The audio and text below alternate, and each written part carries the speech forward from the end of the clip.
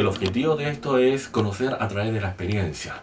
Entonces, los primeros viajes que nosotros hemos ido es a China, después a Vietnam, hemos ido a India. La idea es conocer a través de la experiencia y no solamente a través de los libros. Esto es muy importante porque no es lo mismo empalparse la cultura, conocer ¿no es cierto?, cómo piensan los chinos, cuáles son sus comportamientos, cómo reacciona frente a determinado estímulo, ¿no es cierto?, que leer en los libros. Entonces, ese es el objetivo del programa, programa Embajador del Futuro, y desde el año 2008 hasta el momento hemos llevado más de 2.000 personas a China y que el gobierno chino en el año, si no me equivoco, el 2010, 2011 nos dio un premio de reconocimiento del alumno número 2000 y por ser la única universidad del mundo que ha llevado en tan poco tiempo en tantos alumnos a China.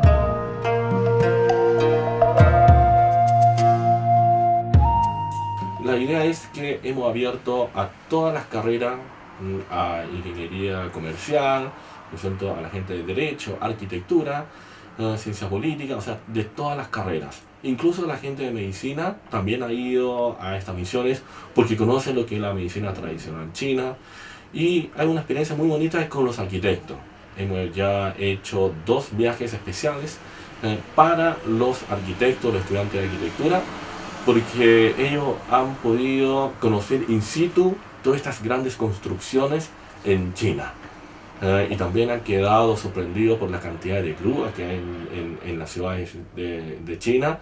Entonces yo creo que ha sido eh, muy interesante estos viajes, incluso muchos de los exalumnos que ha ido a China con nosotros, vuelve, eh, vuelve a China a hacer negocio, a tener su propia oficina de, de, de arquitectura, etcétera, etcétera.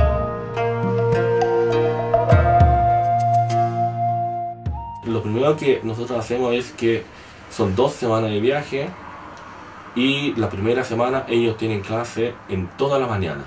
Ah, tienen un barniz de la cultura, de la historia, de la economía y de eh, China.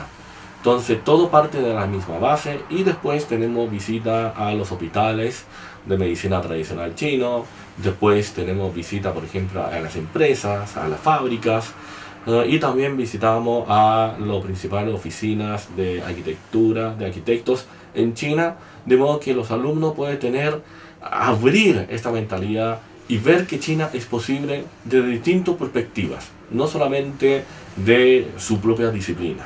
Estos son los convenios internacionales que tenemos la Universidad del Desarrollo, bueno, con la Universidad de Estudios Extranjeros de Beijing, que es la cuna de los principales diplomáticos chinos, también tenemos como Academia China de Ciencias Sociales, eh, tenemos varios convenios internacionales, a lo menos con China tenemos a lo menos cuatro, y con el gobierno chino, que muchas veces nos recibe en la Cancillería, nos da una charla o una conferencia de algunas autoridades, los centros directores, nivel directivo de la Cancillería China, que nos da una conferencia, una charla acerca de la situación política, económica y de la situación internacional que vive China en ese entonces. Entonces esa es la idea, que los alumnos vayan a China, no solamente a, a, ver cosas de su propia disciplina, sino a tener un barniz cultural general para que a partir de allá ¿no puede desarrollar su propio interés.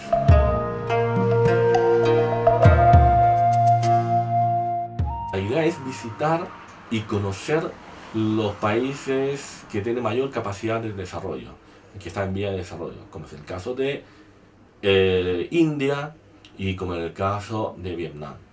Ahora, ¿por qué hemos ido tanto a China? Eh, no es que yo sea chino, sino que resulta de que todos los indicadores económicos dice eh, que China va a ser la primera potencia mundial en términos económicos, por lo menos no ahora, quizás en un par de años más. Por lo tanto, nosotros como universidad, yo creo que es principal, es, es fundamental que nuestros alumnos estén preparados para eh, poder acceder o conquistar estos nuevos mercados. Yo creo que nuestra universidad, creo que sería la única universidad chilena que los alumnos están todos sincronizados o por lo tanto o por lo menos tienen una cierta sensibilidad con el tema de China. Mm, y todo esto porque en la universidad se lleva mucho a cabo esto, eh, estas pasantías a China, y eh, eso es lo que ha generado toda una sensación de que tenemos que ir a China, tenemos que ir a conquistar a China, a ir a conquistar el mercado. Y eso es lo interesante para estos nuevos tiempos.